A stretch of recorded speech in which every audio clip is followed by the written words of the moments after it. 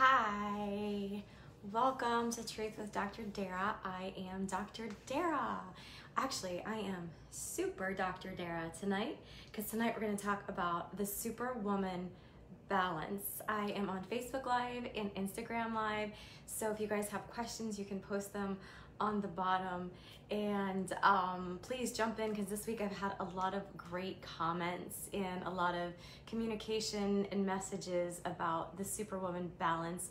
And I put some funny questions out there like what how do you balance your super and other things? Like I said well what if you were just you? And there's been a lot of responsiveness because being superwoman and balancing it all is really it's challenging sometimes and it doesn't just apply to women because it applies to men too because well there's not a world where it's just full of women it's full of men and women. Funny how that works.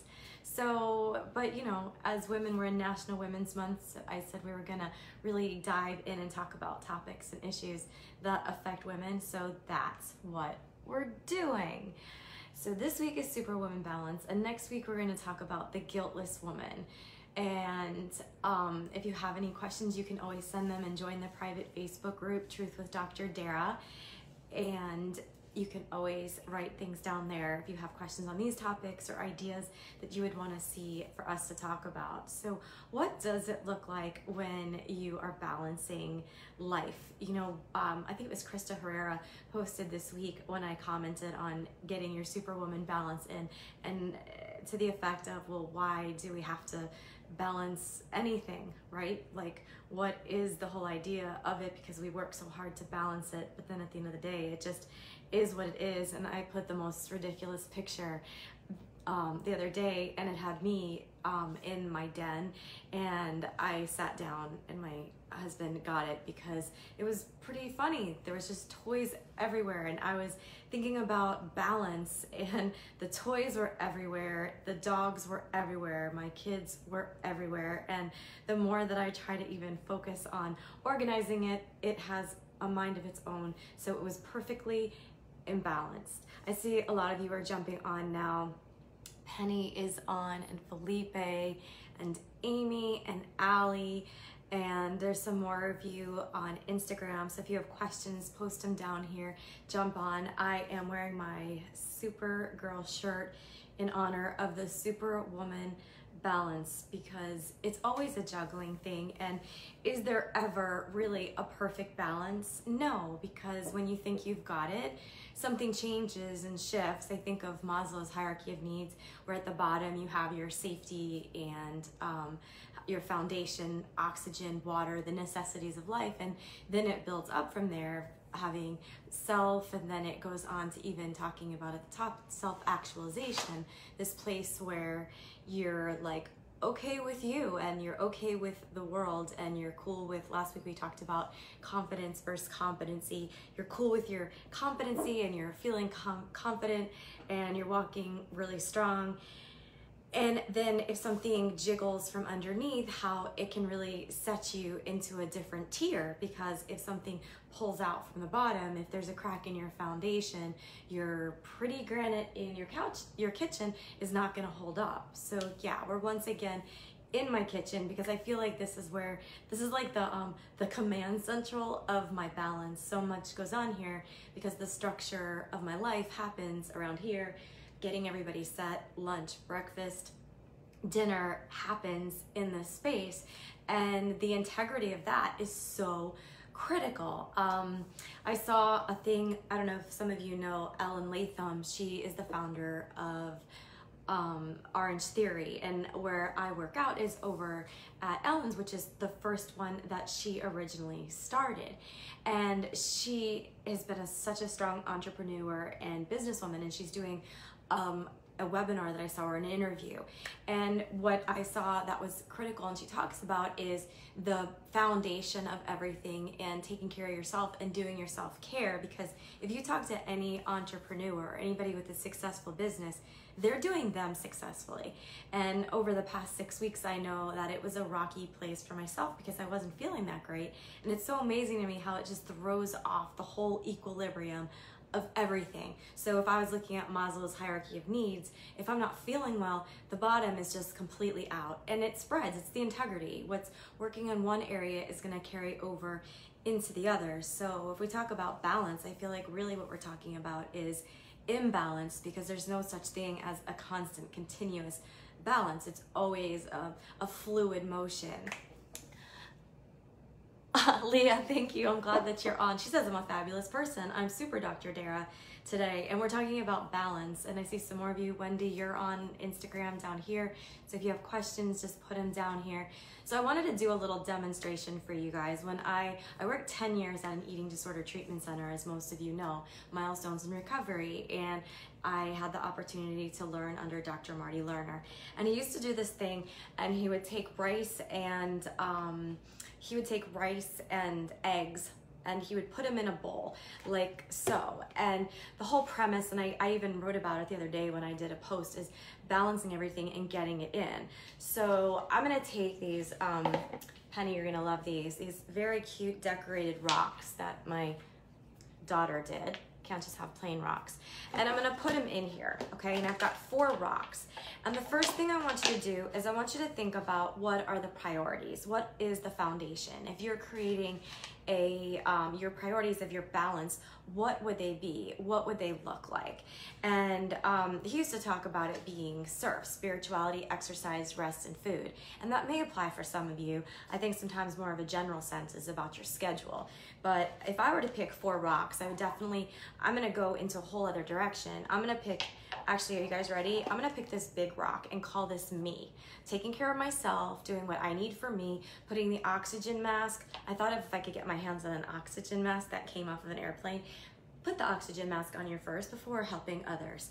So this is my oxygen mask and I'm gonna put that in here. And then let's say the next thing has to do with my, my kids, right? My family, we'll give them a rock right there.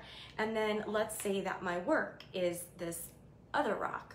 And then let's just go to this other one right here. Um, that would be, I don't know, we could say that part of me would be my exercise and taking care of myself. I'm gonna call this one um, activity and socialization, like doing things with my kids. Um, for me, some of my activity is around being physically active as well. So I want you to think what your four rocks, maybe five rocks, maybe three, you decide, and you're gonna put them in a container. And I got a little um, thrifty. I'm a little embarrassed to tell you, but I have these sprouted bean trio, and I looked at when they expire, and they may or may not, I can't confirm, I can totally confirm, it says it right here, that I've had them since um, 2012, but we'll just leave that alone. So my cupboard needs a little balancing. But I'm gonna take these because this would be like rice or sand. And I want you to see something. If I were to put this in here, wait, can you see it? Let's see if I can do this without making a mess. I'm gonna put these beans in and notice something. The rocks, everything fits like so completely, okay? I want you to see this. Everything's in. So if I put my rocks in first and then I put my other stuff around it, it fits. Let's pretend like these beans are um, social media. They're social media bean. And um, that might be Instagram and all those things. Maybe some of these other beans are talking on the phone.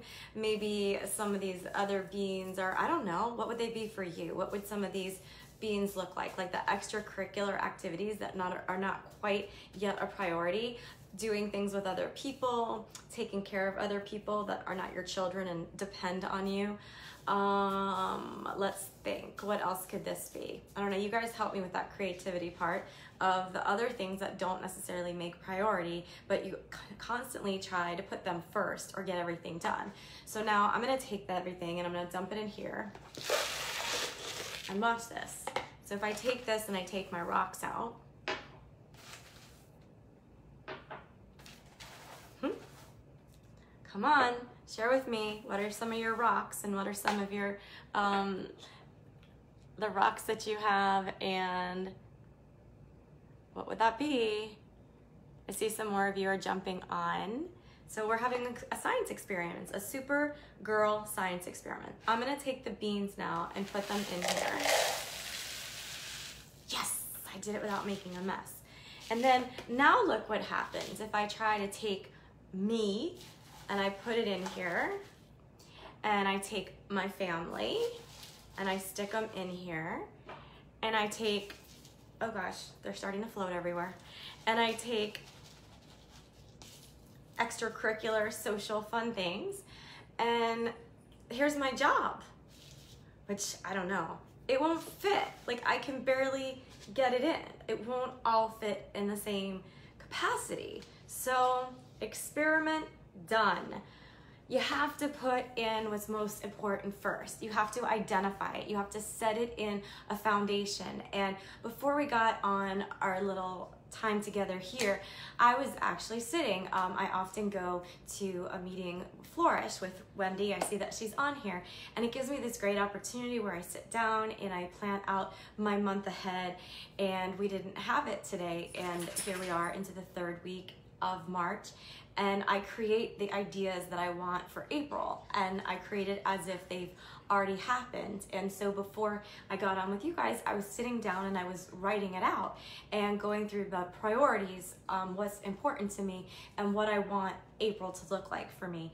And if I don't sit and write it down, then it's not gonna look as I want it to be. It can't happen. And so by doing it, it just draws the energy towards it. And I feel like so many times people talk to me about creating a balance, but how can you create a balance if you don't even know what you're balancing? I mean, I feel like it's like a waitress. I wasn't a very good waitress with a tray on her, her hand and she's carrying all these plates and they're all over the place and she just cleared the table and then there's a waiter over here and he's got it but he's got it all together because he balances it out and he's got some here and some there and his isn't falling over but hers completely is because she doesn't have things mixed around in it in the right way. So that's what we've got to prioritize. People say, well, I'm not balanced, but you don't even know what you're balancing. So what are you going to put on your plate? What are you going to put in here? What do your rocks look like? And this I think is the biggest part is you because we think that we have to balance everything else first. So remember, this is my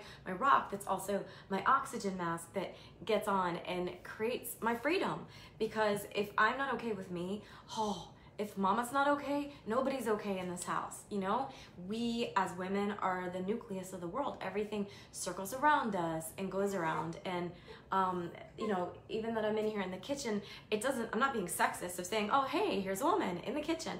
That's not it at all. But that's the center that a lot of us in our homes where things are happening. And a couple weeks ago, we talked about how food is a part of that and it is balancing it and pre-planning it you know? For those of you who have kids you wouldn't leave the house without having food for your kids. That would be a monstrosity. That would be chaos. It would be havoc.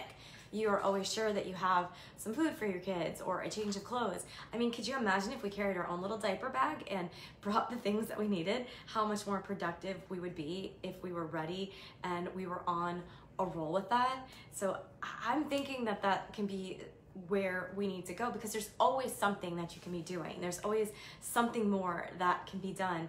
Um, on Sunday, my husband was home. He travels a lot, and so our schedules gets a little crazy sometimes. And actually, I don't think it really gets crazy. It's just that I plan it, and I I enjoy it when he's home. And he was home this Sunday, and I guess it just felt like really warm and we were in the house, like warm, like cozy. And I was so productive and I got a lot of writing done.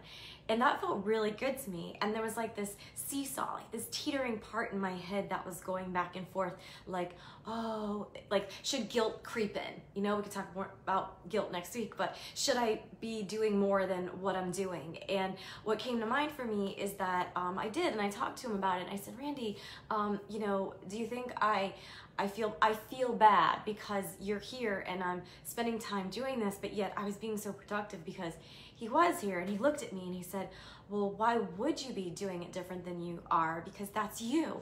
And um, he knows how excited I get about the opportunities and the things I'm doing and I love writing. And he said, why, why wouldn't I want you to do that? And he said, you're never gonna stop doing more things. That's just who you are. And a bell kind of rang in my head when he said that because, you know, then it seemed to make so much sense to me.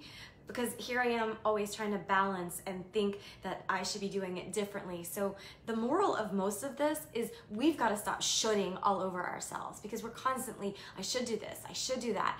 And the more that that's happening, we're farther from where we want to be because we're only focusing on where we don't want to be. Allison said, You'd think by now I'd be an expert on balance, but um, I'm trying to get through each day with a little bit of sanity. Well, you know what, Allie, I who could be i mean that would be like saying that we all should be about an expert on balance. And who who really is an expert on balance? Because everything is constantly changing. And oh hello my finger in the middle of the screen. How can we be an expert when everything's changing and the factors are always changing because what's working today isn't necessarily what's going to be working the next day. But that's where it's critical to have, you know, a foundation and have the things that are a priority. And I think you've seen Marty do this before, but having that priority is going to be so important. That's going to be the key on priority of what's going on. Oh, okay, so you guys are gonna have to excuse me a minute because priority number one, I have a crying child. Stand by. Uh, maybe Denzel can sing for you.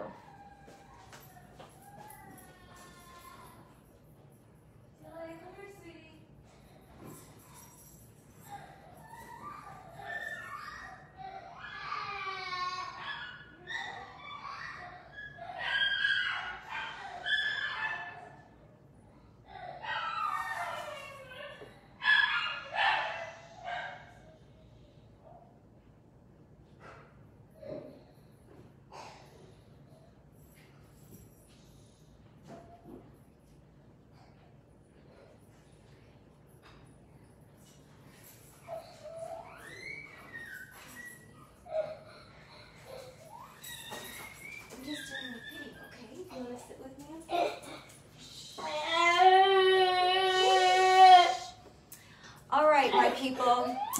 We are going to be cutting tonight's edition short because of balance and priorities. And as you heard, I have a crying little girl, and there's doggies crying. So you know what? This is the perfect imbalance of on perfection.